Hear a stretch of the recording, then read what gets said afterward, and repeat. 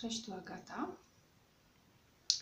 E, Chciałabym Wam opowiedzieć o tym obrazku, który namalowałam. Dzisiaj go skończyłam, właściwie go poprawiłam.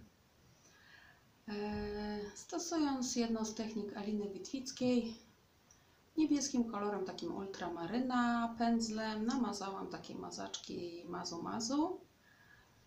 No, obracałam tym obrazkiem cztery razy, ale jakoś nie zobaczyłam nic w żadnej ze stron.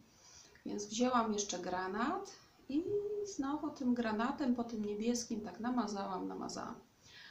E, Jak e, obróciłam tam za którymś, już nie pamiętam razem, chyba trzecim, zobaczyłam tego dużego ptaka.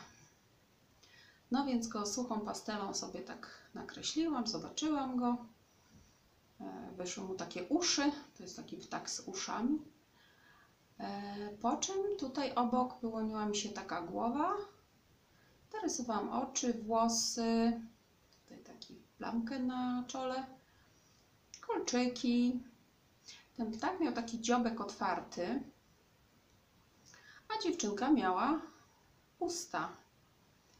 No i właściwie był ukończony i tak patrzyłam na niego, patrzyłam i tak mnie coś mnie drażniło w tej twarzy i w tym dziobie.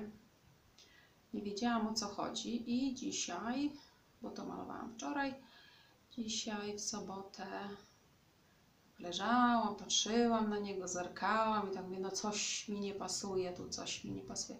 I taka myśl po prostu pstryk, mandalkę namaluj. No więc wyskoczyłam jak Filip z konopi, z kanapy. Wzięłam białą farbę, zamalowałam właśnie nos, usta i ten dół dziobu. Farbka wyschła, wzięłam czarny flamaster i namalowałam taką fajną mandalkę. No jest to jakiś symbol, jakaś ochrona, jakiś. Trudno mi powiedzieć. W każdym bądź razie po coś to się tu pojawiło i ja może zrobię zbliżenie, jak ta mandalka wygląda. No, taka dosyć prościutka. Troszkę mi z kamerki mocno światło świeci. Oczy dziewczynki takie fajne. Obraz nazywa się Dziewczyna z ptakiem.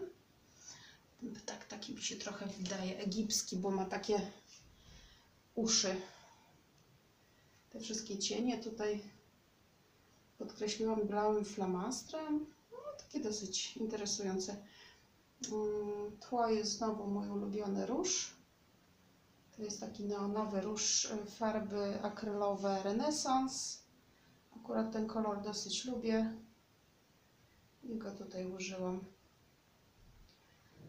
Także obrazek jest skończony i tak jak już mówiłam na którymś filmie, jeżeli obraz jest ukończony i nic mi nie będę dodawała, to takie mam poczucie, że to już jest y, koniec, obraz gotowy. I tutaj właśnie po namalowaniu tej mandali takie mam właśnie poczucie.